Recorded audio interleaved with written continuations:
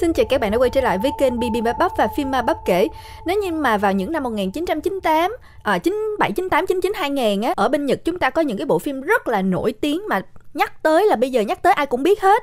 Đây là phim The Ring vòng tròn oan nghiệt hoặc là phim uh, ngôi nhà ma ám The Curse. Nhưng mà cũng có một cái bộ phim nó chìm trong quên lãng. Bắp thấy nội dung nó cũng khá là thú vị nhưng mà có lẽ là do cách dàn dựng và cách kể lại cái nội dung đó nó không có được xuất sắc thành ra là nó bị trôi vào quên lãng. Tuy nhiên đề tài của bộ phim khá là hay với tựa đề là Don't Look Up được sản xuất vào năm 1998 à, ờ, có thể tạm dịch sang tiếng Việt là đừng nhìn lên.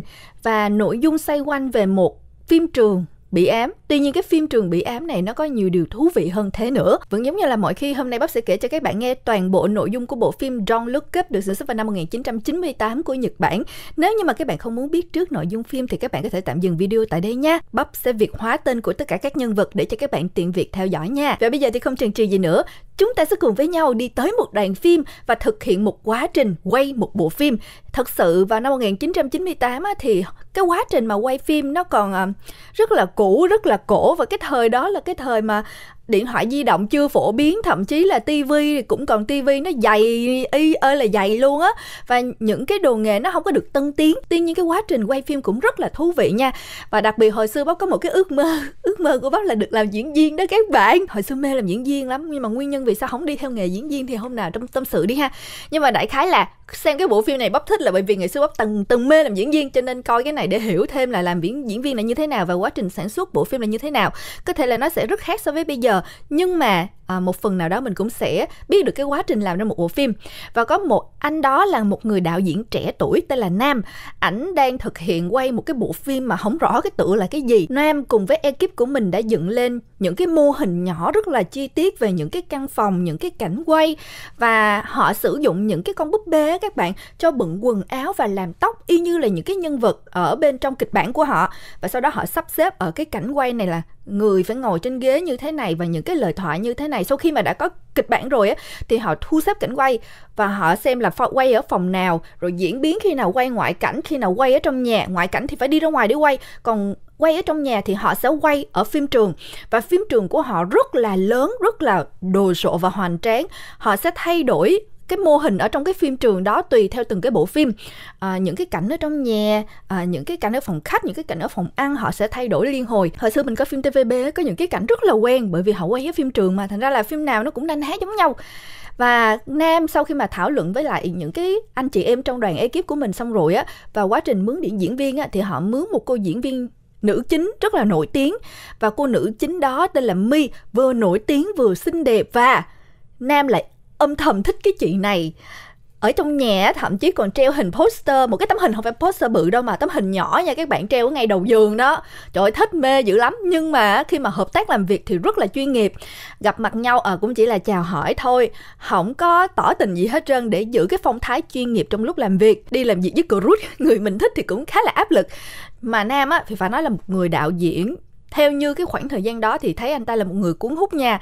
Bởi vì đạo diễn là rất là giỏi nè và ít nói nè trầm tính nè và rất là tập trung cho sự nghiệp mà một người đàn ông tập trung cho sự nghiệp ô trù cha. Nó rất là quyến rũ. Một cái bộ phim quay ra tốn rất là nhiều công sức và thời gian thậm chí là không có thời gian ăn không có thời gian ngủ nữa thành ra ông nam ông ốm nhơ mà. Và khi mà đã đi vào bên trong một cái bộ phim rồi á thậm chí là ông không có thời gian để hả, chải chuốt cho bản thân nữa đầu bù tóc rối. Quay những cái cảnh quay nhiều khi tóc còn dính màng nhện nữa. Và tất cả những người trong ekip đoàn làm phim cũng rất là vất vả kể cả diễn viên. Thành ra hồi xưa hả coi phim thấy diễn viên sung sướng lắm nhưng mà bây giờ mình thấy được nhiều hơn về hậu trường á thì mình mới hiểu là trời nghề diễn viên không sung sướng mà cũng không hề dễ dàng gì đâu. Cực lắm luôn á các bạn ơi. Nhưng mà vui họ sẽ có những cái khoảnh khắc chia sẻ với nhau rất là vui uh, sau những cái bộ phim hoặc là sau những cái cảnh quay. Bộ phim mà nam đang quay á có đúng ba diễn viên thêm một người diễn viên phụ nữa hình như bác thấy là đúng bốn người diễn viên á nha các bạn phim hoành tráng dễ sợ thì cái chị đóng vai nữ chính á là tên my chỉ vào vai một cái cô gái tên là hoa À, Hoa là nhân vật mà My đóng nha các bạn. Trong phim á, là đứa em của Hoa tên là Ly. À, và có một người con trai tên là Bình. Bác không biết là Bình là mối quan hệ với Hoa như thế nào? Tại vì không có đề cập. Không biết Bình là bạn trai, Bình là chồng, hay là một cái người bạn thân, hay là một người đồng nghiệp gì hết. Chỉ biết là Bình có xuất hiện trong cuộc đời của Hoa và Ly. Và cái bộ phim mà Nam quay diễn ra ở Thế chiến thứ hai, khi đó đang diễn ra chiến tranh. Và Hoa và Ly là hai người đã phải bỏ rời, bỏ Nhật Bản đi tới một cái nơi khác để mà tạm lánh nạn à, tránh khỏi chiến tranh á Ly là một cái nhân vật em của Hoa và khoảng chừng 15 16 tuổi thôi. Sau khi rời khỏi Nhật để mà lánh nạn, Ly á, thì không có quen với môi trường mới, thành ra là em ấy cứ trông chờ để mà được quay về Nhật Bản để ở trong khi chiến tranh thì vẫn đang diễn ra. Còn Hoa thì không muốn quay về và họ vừa mới trải qua một cái biến cố đó là mẹ của họ vừa mới qua đời. Mẹ của họ bị uh, té xuống dưới một cái con sông và sau đó là xác bị trôi đi mất luôn và cái con sông đó hoa biết luôn mà các bạn bởi vì lúc mà mẹ của hoa té xong mới là có hoa ở đó và sau khi mà họ mất á, thì hoa cái nhân vật đang ở trong phim nha các bạn nhiều khi kể cuốn quá cái các bạn quên luôn á là đang nghe phim trong phim.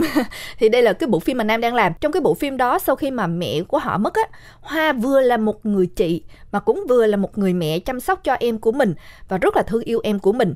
Và cái nhân vật tên bình á xuất hiện á bác không biết là vai trò của anh ta là gì nhưng mà có vẻ giữa anh ta và hoa có một cái ờ, bí mật nào đó mà ly không biết.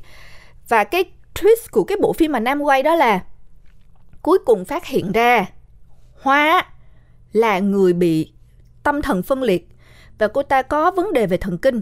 Cô ta đã giết mẹ của mình. Đâu có phải là mẹ của hoa bị tai nạn rớt xong chết đâu, mà là hoa giết mẹ của mình. Sau đó thì quăng cái xác xuống dưới sông á và để cho trôi đi mất xác. Sau đó về nói với em là mẹ bị té xong chết như vậy. Hoa cũng là một người giết chết bình. Thư một bộ phim có thể loại tâm lý hơi hát não và hơi um, mang hơi hướng kinh dị như này á sẽ có một cái câu thoại làm điểm nhấn trong toàn bộ phim. Thì cái câu thoại trong cái bộ phim này đó là buồn ngủ rồi thì đi ngủ thôi. Câu thoại mà sau khi mẹ của họ mất đi hoa thường xuyên nói với em của mình à, mỗi lần mà tới giờ đi ngủ buồn ngủ rồi thì đi ngủ thôi. Kết cục của bộ phim của nam á là hoa giết chết bình và hoa giết chết em gái của mình là ly bởi vì ờ, bệnh tình của cô ta càng ngày càng nặng và tâm lý thì càng ngày càng bất ổn. Thì khi mà kể các bạn thấy nhân vật hoa này nè, cái dạng tâm lý rất là nặng luôn á. Diễn viên khi mà nhận cái kịch bản này hơi bị mệt, hơi bị trầm cảm nha các bạn. Bây giờ thì các bạn đã biết nội dung chính xác mà nam sẽ phải quay cái bộ phim đó, cũng như cái vai diễn mà my sẽ đảm nhận, đó là giai viễn hoa. Một vai diễn rất là nặng về tâm lý. Cái cô bé mà đóng vai em gái của hoa cũng là một cô bé tuổi teen thôi, tầm khoảng chừng 15 16 tuổi và tên là Thanh ở ngoài đời cũng rất là hoạt bát đáng yêu dễ thương. À, để một cái mái tóc dài tóc thì mái cắt ngang và tóc dài mượt như một con suối vậy đó các bạn. Tóc đẹp ơi là đẹp vậy đó. Mà tuổi 15 16 đẹp nhìn xinh nhìn sức sống tràn đầy luôn và ngày hôm đó là ngày đầu tiên họ thực hiện cảnh quay đầu luôn. Khi mà đi tới quay á mi là một diễn viên rất là chuyên nghiệp rồi, rất là giỏi, rất là xinh đẹp luôn. Chỉ cần bước vào trong set quay là quay một lần là xong, có những cái cảnh khó, phải quay thậm chí cả trăm lần luôn á các bạn.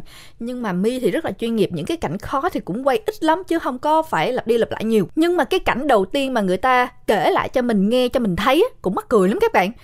Đạo diễn cho mi ngồi vô trong set quay, xong đó để cái máy camera bấm để cho mi không có cảm xúc gì hết và đạo diễn kêu làm cái gì thì làm cái đó. Sau đó về hậu cần á, thì người ta sẽ cắt cái tiếng của đạo diễn đi và chen nhạc hoặc là chèn âm thanh hiệu ứng vào bên trong đó hoặc là sẽ thu âm riêng. Chứ không phải là thu sao thì quay vậy quá trình sản xuất một bộ phim rất là phức tạp và rất là nhiều công đoạn rất là nhiều công phu luôn. Cái cảnh quay đó cũng khá là thú vị khi mà mi chỉ cần ngồi vậy thôi. Rồi đạo diễn nói là quay sang phải. Quay sang trái. Quay lên đằng trước. Cười ở cái cái cảnh quay nó vậy thôi đó các bạn. Sau khi quay mi đơn giản như vậy thôi. À, xong cảnh quay của mi rồi thì tới cảnh quay của thanh. Đạo diễn nói với thanh là thanh bước vô trong đó và ngồi làm y chang như những gì mà hồi nãy mi làm. Thì khi mà thanh bước vô trong ngồi, đạo diễn cũng kêu, cũng chỉ là quay sang phải, quay sang trái, rồi quay lên đằng trước, rồi cười, là làm y chang như vậy. Cũng rất là đơn giản thì cũng dễ làm cái cảnh đó. Thì sau khi quay xong rồi á, mọi người lại chuyển sang một cái cảnh ban đêm. Phim trường nó rất là to, rất là hoành tráng và đó cũng là lần đầu tiên mà nam tới phim trường đó để quay. Bởi vì đó là bộ phim đầu tay của nam á các bạn. Cảnh quay buổi tối, Mi và Thanh bận một bộ đồ kimono truyền thống của Nhật Bản rất là đẹp và họ búi tóc lên. Trên tay của Mi thì cầm thêm một cái đèn dầu họ đi dọc một cái hành lang và đọc một cái đoạn hội thoại nói chuyện với nhau. Thì khi mà quay cái cảnh quay đó hai người đi dọc cái hành lang họ đang nói chuyện về người mẹ đã mất của họ. Cái đoạn hội thoại đó là ly nói với hoa là sau khi mà mẹ mất á thì chị giống với mẹ hơn. Ngày xưa thì chị hay chơi với em nhưng từ khi mà mẹ mất rồi á thì em thấy hành động thái độ của chị uh, giống với mẹ nhưng mà mẹ thì không có dành nhiều thời gian cho em. Thì đại khái cái đoạn hội thoại là như vậy. Thì khi mà họ vừa đi vừa nói chuyện, vừa đi dọc theo cái hành lang, thì khi mà đi tới cuối cái hành lang á, thì cũng là lúc xong cảnh quay. Nhưng mà trước khi xong cảnh quay á, thì bước tới cuối hành lang, đột nhiên mi nhìn lên trên trần nhà. Mà cái trần nhà của phim trường rất là to, ở trên đó có rất là nhiều cái xà ngang dày dày dày dày dày dày. Và sâu lên, cứ như là một cái bầu trời tối tăm sâu hun hút vậy đó khi mà nhìn lên trên trần nhà như vậy, gương mặt của mi biến sắc, không biết là mi thấy cái gì nha. Chỉ biết là mi đang quay rồi nhìn lên trên trần nhà. Mà là một diễn viên chuyên nghiệp đã kìm lại cảm xúc của mình để không tỏ ra những cái thái độ, những cái cử chỉ không nên nên có đó. Thì mi đã có kìm cảm xúc rồi, nhưng mình vẫn thấy được sự ngỡ ngàng trong ánh mắt của mi. Có vẻ như là mi thấy cái gì nhưng mà không có thấy rõ, mà chỉ thấy thoáng qua thôi, khiến cho mi hơi bị sốc nhẹ thôi nhưng mà mình cũng không biết là mi thấy cái gì luôn. Tuy nói là mi nhìn lên và mi khá là ngỡ ngàng, tuy nhiên đó cũng là một cái phần trong cảnh quay của mi. Tức là tới cái đoạn đó nhân vật phải nhìn lên. Khi mà mi nhìn lên á, là cái khúc đó đã cắt đi rồi. Còn cái khoảnh khắc sợ hãi sau á, là biểu hiện sau á, thì người ta sẽ cắt bỏ cái phần đó đi. Thành ra là không có ảnh hưởng gì tới cái set quay, cái cảnh quay đó hết. Và cái cảnh quay đó vẫn được giữ lại. Sau khi đã quay xong rồi, họ mới edit những cái tập đầu tiên. Khi mà mang về để chỉnh sửa video và lồng ghép những cái video lại với nhau, thì cái thời gian ngày xưa không có xài những cái con chip nhỏ nhỏ, những cái thẻ nhớ nhỏ nhỏ đâu. Mà họ quay xong rồi sẽ là những cái cuộn băng nha.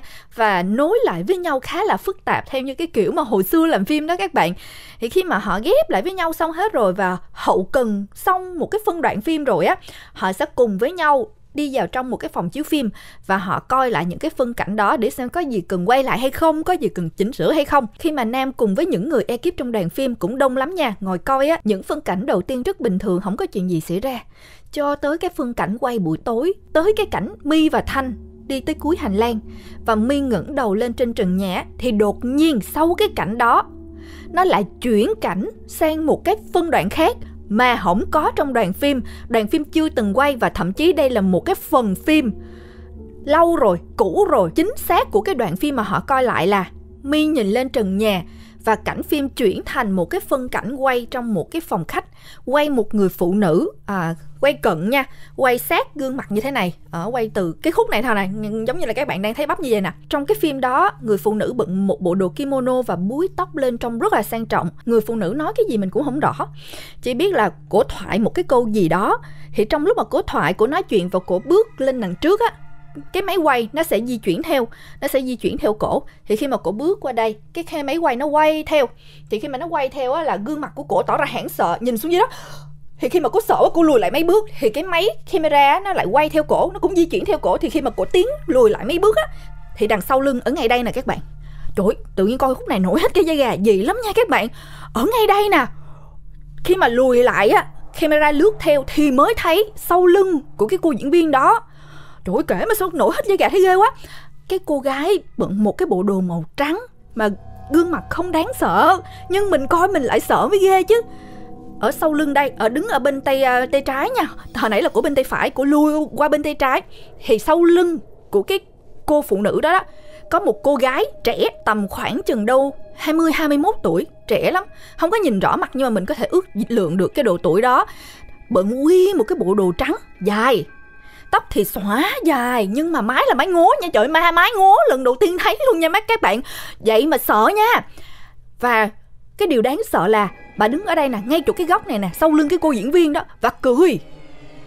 Mà khi bà bắt cười là bắt cười hô hố bắt cười ha há như vậy, cho nên bà bắt mới đặt bắt mới đặt cái tựa đề là cô gái hay cười chỗ nghe nó lãng mạn, dễ sợ, nhưng mà bắt cười vô duyên lắm. Các bạn bắt cười vô tri lắm, chứ không phải là cười. Không nha, bà cười vậy nè.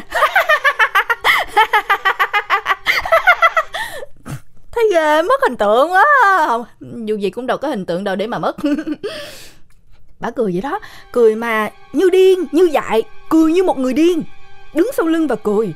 Nhưng mà cái cảnh đó nó dị vô cùng khi mà các bạn tưởng tượng cái cảnh phim nó trắng đen và nó không có được sắc nét. Mà đặt trong cái trường hợp đó là đứng ở đằng sau lưng và cổ bị làm mờ. Cái nhân vật đứng ở đằng trước thì sẽ nhìn rõ, còn cái cái cái cô ma đó, thì mình nhìn không rõ mặt. Nhưng mà chính bởi vì cái sự không rõ mặt đó, nó càng khiến cho cái khung phim đó, cái phần phim đó nó dị hơn. Khi mà nhân vật ma đó cười á, thì cái miệng á, khi bà bắt cười á, hả ra thì mình có răng thì mình vẫn thấy răng cười, cái răng đúng không? Nhưng mà giống như là không có răng vậy đó, là khi mà bà cười là là nguyên một cái khoảng ở đây là đen thui. Nhìn vô á, cái miệng y như là một cái hố sâu của vũ trụ sao phim ma mà bắp tả nó kỳ vậy ta? Tả nghe nó khoa học dễ sợ luôn. Nhưng mà bắp coi xong phim này bắp nằm mơ thấy bả nha các bạn. Vậy lắm kìa sợ. Ừ, cái cái này gu gu sợ ma của bắp mà. Thấy máu me không sợ đâu mà thấy những cái cảnh như vậy sợ nha. Cái chị ma đó chị ma cô bé hay cười đó. Chỉ da trắng mái ngố tóc dài bận bộ đồ trắng. Và cái dị ở đây là bà cứ cười mà rung người á. Cái cười nó dị lắm. Cười mà rung cả người. Cười cười cười rồi cái đầu quay sang một bên cái đầu này quay sang một bên. Miệng thì hả to ra. Và trong cái miệng của bà thì là một cái màu đen sâu hun hút. U chu cha ơi đáng sợ và nó gì và trong cái lúc mà bà đang đứng ở đằng sau cười thì cái cô diễn viên ở đằng trước hồi nãy thấy cái gì không biết gương mặt của cổ cũng trợn lên. Ừ, thì càng càng khiến cho cái khung cảnh đó có cái phần gì đó ma mị lúc mà coi tới cảnh đó là nguyên một cái đoàn phim hoảng luôn nha các bạn. Nhưng mà họ chỉ nghĩ là một cái phần phim nào đó bị nhầm vào bên trong cái đoạn mà họ quay thôi. Sau cái cảnh mà con ma cười vô tri như vậy đó, là cảnh một cái đứa bé tầm khoảng chừng đâu 4 năm tuổi, một mình của nó đang chạy đi chơi ở bên trong một cái căn nhà dường như là bỏ hoang và nó đang chạy lên trên những cái bậc cầu thang bằng gỗ. Và có một mình bé đó chạy thôi và nó cứ chạy chạy chạy, chạy lên trên. Ở trên nữa là hình như là có cái gác mái và nó chạy lên trên cái gác mái đó. Thì sau cái phân cảnh thằng bé nó chạy lên trên á tới một cái phân cảnh khác là phân cảnh ờ, một cái căn phòng à, giống như là cái nhà kho vậy đó có một cái cửa bằng gỗ. Cái cửa gỗ mà dạng như cửa gỗ đen đen á.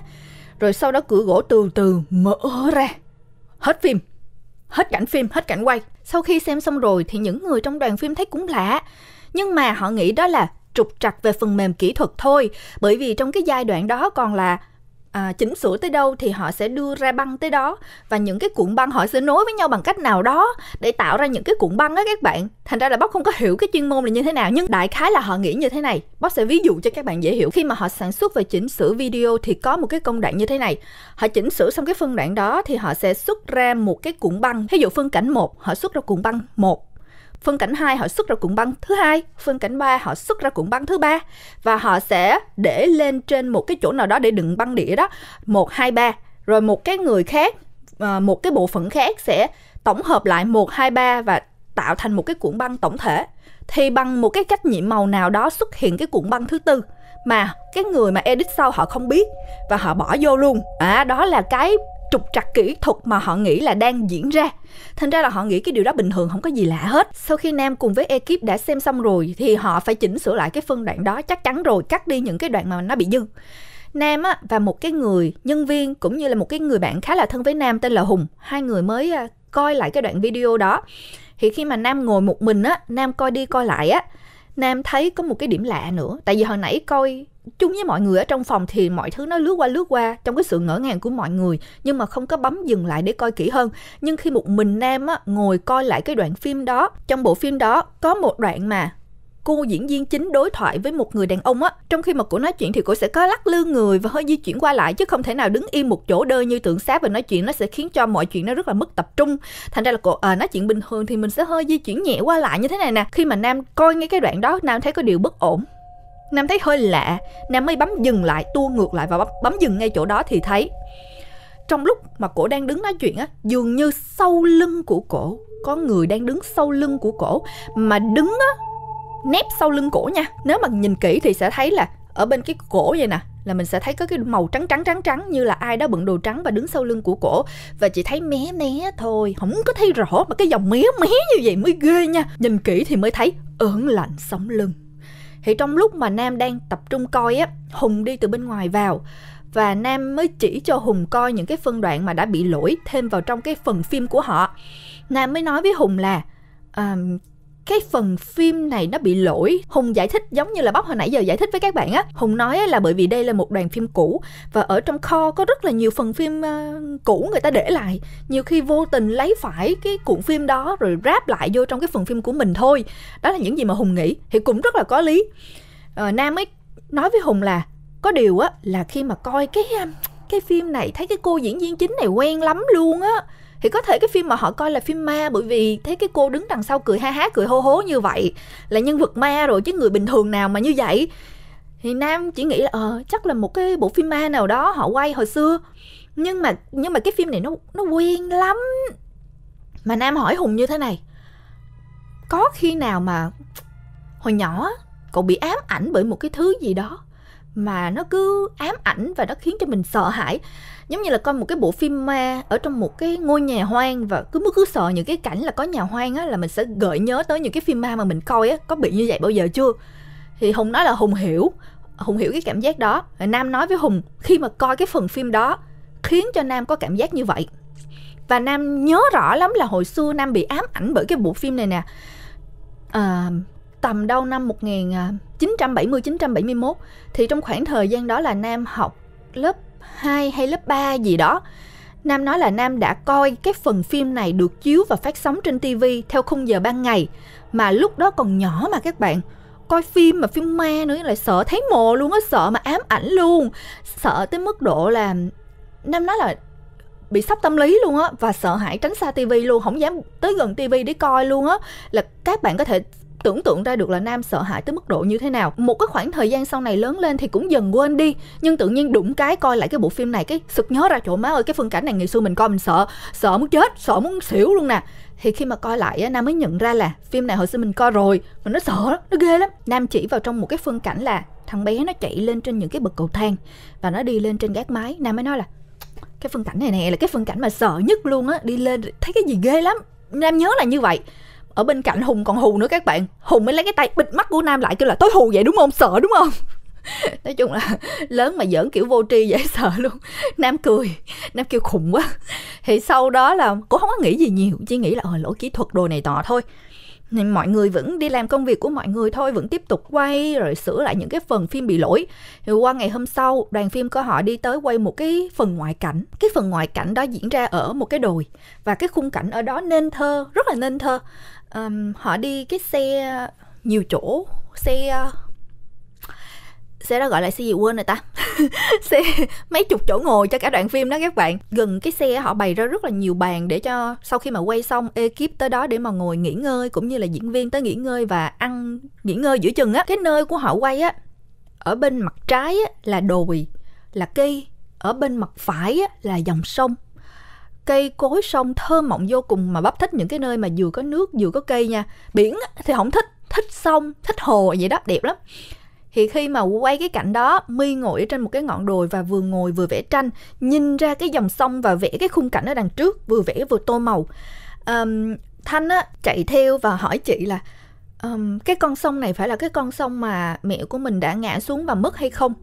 Ở ngay con sông đó luôn nha các bạn đó lại trong cái cảnh quay mà họ đang quay thôi. Ở trong cái set quay á là nhân vật tên là ly á em của hoa chị lại hỏi chị là đây là có phải là có con sông mà mẹ đã mất hay không? Thì hoa mới nói là ờ đúng rồi. Sau đó thì ly mới chạy tới chạy lên trên cái con sông đó và chạy dọc cái con sông đó để chơi. Và đó là hoàn thành xong cảnh quay. Thì sau khi mà hoàn thành xong cảnh quay rồi á thanh đóng vai ly á à, mới đùa giỡn với những cái người trong đoàn phim nói chuyện đùa giỡn rất là vui vẻ. Thanh chạy tới chỗ nghỉ ngơi và cùng với mọi người ăn uống à, diễn viên chính và tất cả các anh chị em trong đoàn ekip ngồi ăn uống nghỉ ngơi. Trong cái khoảng thời gian mọi người nghỉ ngơi thì nam không nghỉ ngơi. Nam ngồi ở một cái góc cách đó cũng khá xa và đang ngồi suy ngẫm để mà sửa lại những cái kịch bản sao cho nó hoàn hảo hoàn chỉnh nhất. Thì khi mà đang à, nghiên cứu tập trung rất là nhiều để mà sửa lại á bé à, thanh cũng dễ thương. Bé thanh ngồi ăn xong rồi hả mới nói ủa sao anh đạo diễn không tới đây ăn mà cứ ở đó? Rồi bé thanh mới giơ tay lên kêu là um, anh nam anh nam anh nam. À, rồi quát quát vậy nè. Thì nam mới nhìn qua nam cười rồi nam chào lại. Thì khi mà nam chào lại á nam mới sững người lại.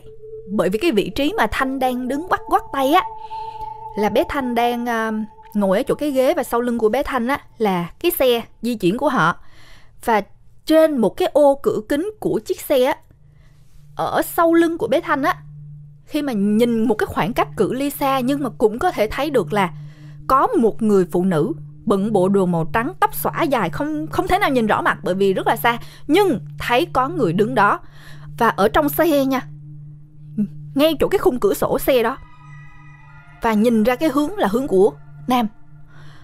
Khi mà nam thấy á, nam giật mình luôn á, nam đang ngồi trên ghế mà đứng bật dậy á ngỡ ngàng nhìn luôn là thấy rõ ràng luôn á. Khi mà nam đang chăm chú đứng nhìn nó cho kỹ hơn thì thoát một cái cái cô gái đã biến mất trong sự ngỡ ngàng của nam. Mà bây giờ thì nam không biết là do mình hoa mắt hay là thực sự thấy một cái gì đó kỳ lạ nữa. À, sau khi họ đã hoàn thành xong cái cảnh quay của ngày hôm đó rồi Nam đi về lại phim trường và gặp một cái bác làm ở trong phim trường cũng khá là lâu. Và phim trường á ở đó rất là lâu năm rồi. Bác làm ở đó có rất là nhiều đoàn phim tới và quay và họ rời đi à, nhưng mà bác đó là đang làm ở trong cái đoàn phim mà nam đang phụ trách đó các bạn. Nam tới hỏi bác là có biết cái cái đoạn phim mà bị lỗi á là quay ở đâu và phát sóng trong khoảng thời gian nào đã từng phát sóng như thế nào hay không á? Bác coi thì bác nói là bác cũng không có ký ức nào về cái phần phim này hết. Nhưng mà bác bác sẽ tiếp tục nghiên cứu sẽ tiếp tục coi là cái phần phim nào rồi sau đó thì sẽ báo cho nam biết sau. À, sau khi đã nói chuyện xong với bác á nam mới rời đi và đi vào bên trong uh, cái à, phim trường số 8 bởi vì cái phim trường rất là to và họ phân ra từng phòng từng phòng từng phòng. Thì nam đi qua nó là phòng thôi nhưng mà nó to lắm nha các bạn nó như cái nhà vậy đó. Thì nam đi qua phim trường số 8 thì khi mà đi vào bên trong phim trường số 8 á, ở bên trong đó set up dàn dựng uh, khung cảnh của một cái căn nhà để cho những diễn viên đóng ở trong đó và cũng là phần phim mà Nam đang phụ trách sẽ diễn ra ở bên trong cái phim trường số 8 đó. Và vẫn giống như là mọi khi diễn viên đóng phim và các anh chị em ekip người phụ trách âm thanh người phụ trách hình ảnh và tất cả mọi thứ đang diễn ra rất là suôn sẻ.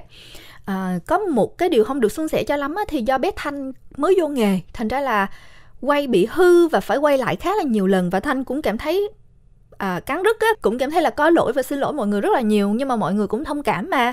Thanh còn rất là trẻ tuổi và bé rất là ham học hỏi rất là dễ thương rất là giỏi. Chỉ có điều là chưa có kinh nghiệm thôi thành ra mọi người rất là hòa đồng và giúp đỡ nhau hết sức luôn. My cũng giúp đỡ cho thanh và truyền lại kinh nghiệm cho thanh rất là nhiều bởi vì hơn ai hết my đã trải qua cái khoảng thời gian đó rồi. Lúc vô nghề thì cũng ờ, đóng sai rồi phải quay lại nhiều lần rồi cảm thấy ái ngại rồi xin lỗi thậm chí là bị chèn ép bị ăn hiếp nữa. Thành ra my hiểu cho nên bây giờ my rất là thông cảm và rất là thương những cái anh chị em trong nghề mà mới vừa vào nghề đó cũng giúp đỡ rất là nhiệt tình. Nhưng hiện tại thì không hiểu sao my đang gặp một cái vấn đề với một người quản lý của mình. Uhm, nghe đâu không biết xích mích giữa họ là gì bởi vì không nói rõ.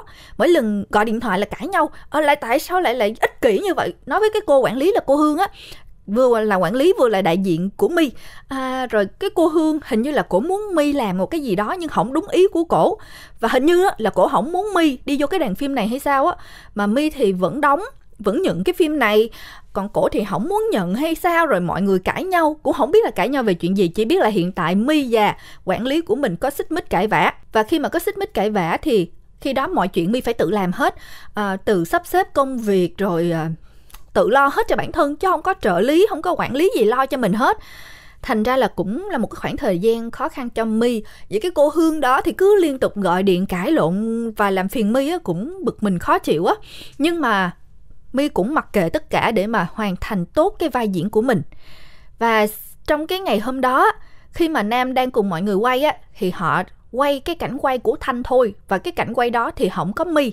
Thành ra là my được đi ờ, chỗ nào nghỉ ngơi cũng được. Thì khi nào mà tới cảnh quay của my á, họ sẽ gọi my vô. Cho nên my mới rời cái phim trường số 8 ừ, vẫn ở trong cái phim trường to đó và mi đi qua những cái chỗ khác không có người á, để mi tiếp tục học lại những cái lời thoại cho thuộc và luyện tập cho nhuần nhuyễn đây là một cái phong thái làm việc cực kỳ chuyên nghiệp luôn, mặc dù làm việc rất là lâu năm rồi, nhưng mà rất là kỹ tính là coi lại cái đoạn thoại nó như thế nào, đọc cho nhuần nhuyễn để mà khi mà mình vô set quay, mình hoàn thành tốt để không làm phiền tới mọi người và có một cái tinh thần làm việc chuyên nghiệp nhất có thể.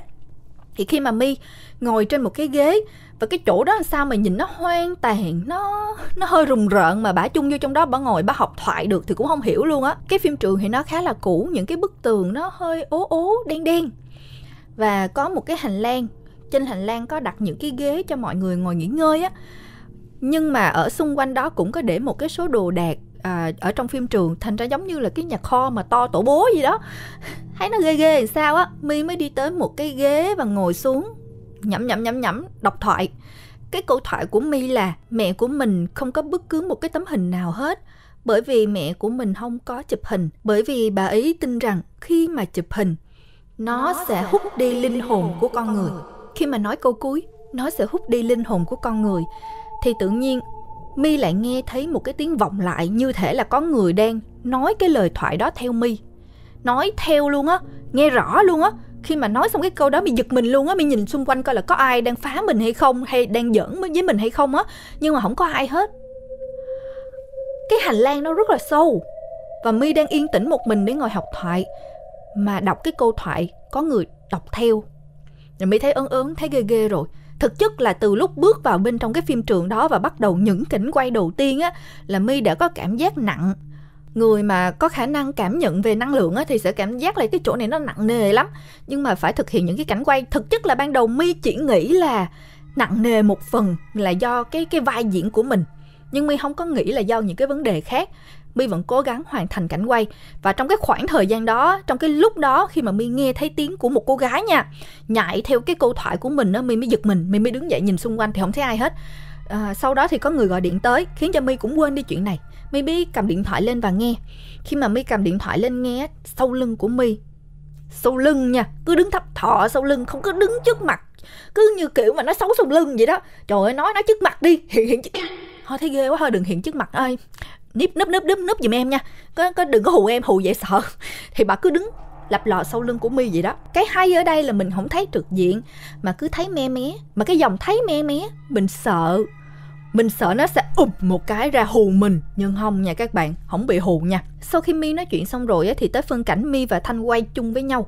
Phân cảnh đó là nhân vật của mi và thanh á, cùng với nhau ở bên trong phòng và lúc đó là thanh chuẩn bị đi ngủ. Nhân vật hoa sẽ ru cho em mình ngủ. Mặc dù lớn rồi nhưng mà tình chị em thương nhau là sẽ tâm sự với nhau, tâm sự mỏng. Nhân vật hoa sẽ tâm sự mỏng với em của mình là ly và sau đó là cho ly ngủ. Và mỗi một đêm luôn, trước lúc ly đi ngủ á, thì hoa sẽ nói với ly là, buồn ngủ rồi, thì đi ngủ thôi.